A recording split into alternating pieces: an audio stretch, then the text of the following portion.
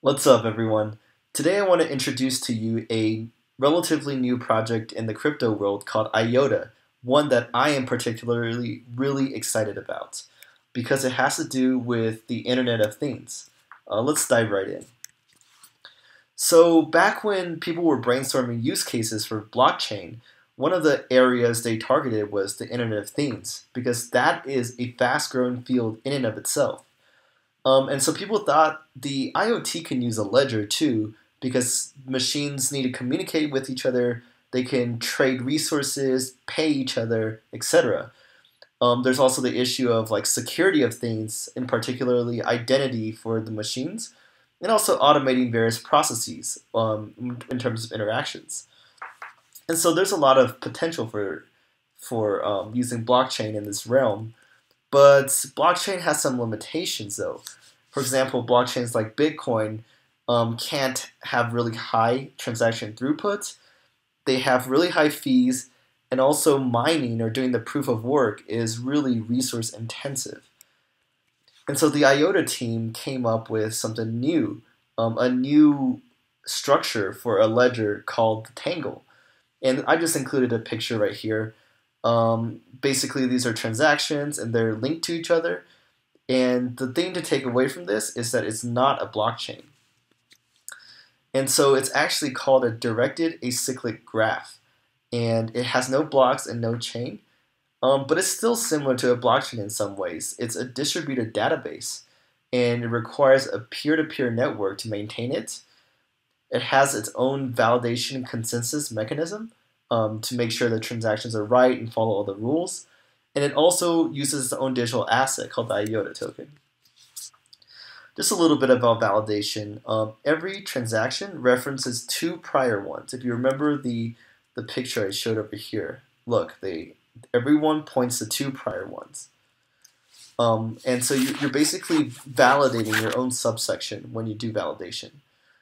Everyone is involved in doing approving transactions, not just a small group of miners. This is a big difference.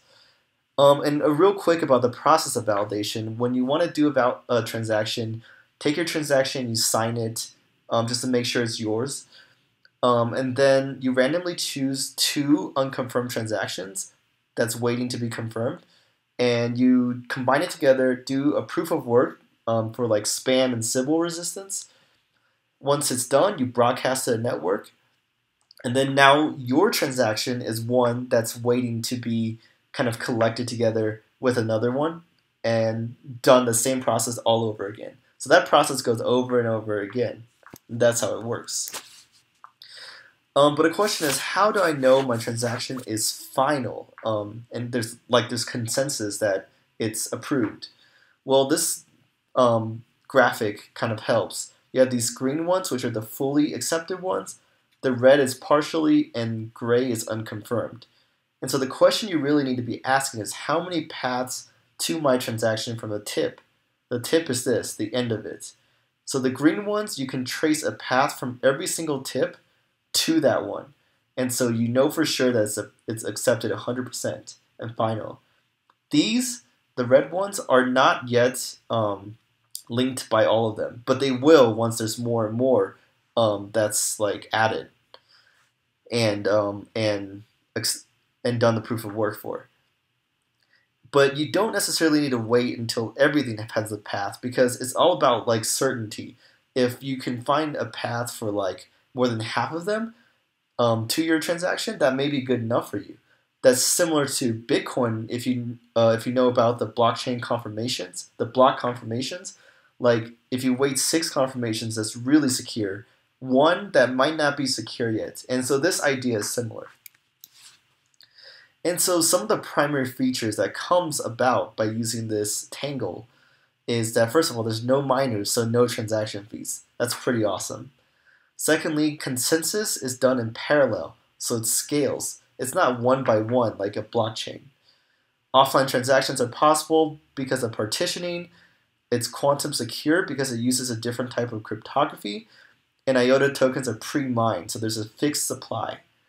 Um, and so, if you want to know a little bit more about these, I encourage you to Google them. Um, there's a lot of resources about those. So some use cases so far. Um, there's been ongoing case studies in the realm of mobility, energy, smart infrastructure, for example, um, all around the machine economy, which is what the focus is. But even though that's what the team is focused on, that doesn't mean IOTA does can't excel at other stuff like human-to-human payments, like normal cryptocurrencies, or store of value because it's a fixed supply. Just a quick note about denominations. Um, here you see the total amount of IOTAs out there ever, um, but usually they're counted by mega IOTA, IOTAs, which is a million IOTAs. And that's pretty similar to Bitcoin too, and Ethereum, because they have smaller denominations. Like a Bitcoin can be broken down to a ton of Satoshis, um, and for Ether, I believe it's the wei, which is the WEI, which is their smallest denomination.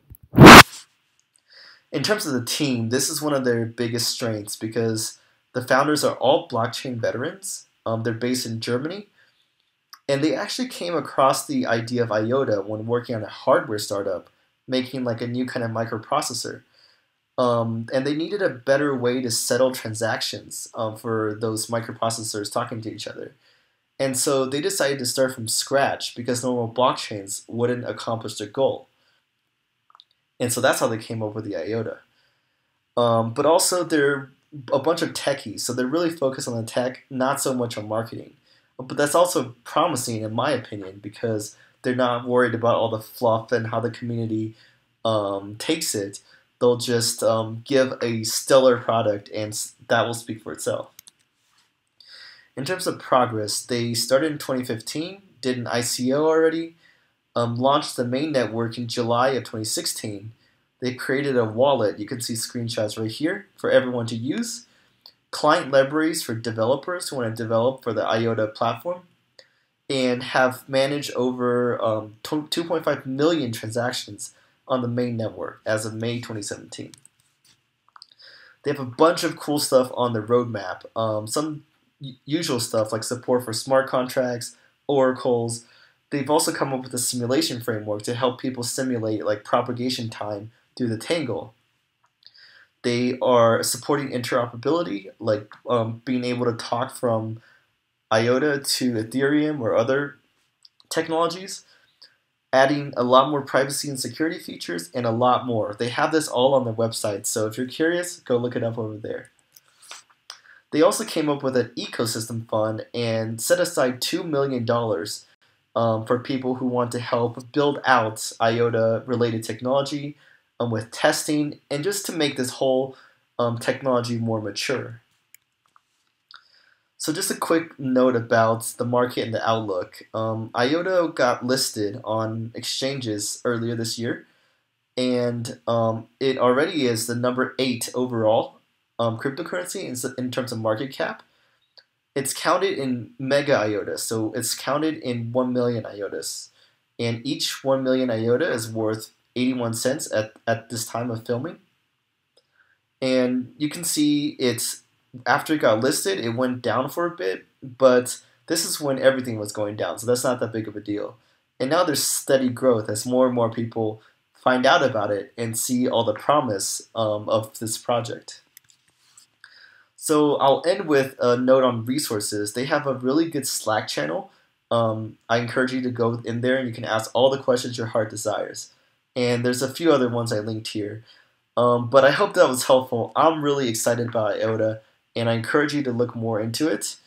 Um, if you have any questions, leave me a comment below and definitely click the subscribe button to see more videos coming very soon. Peace out.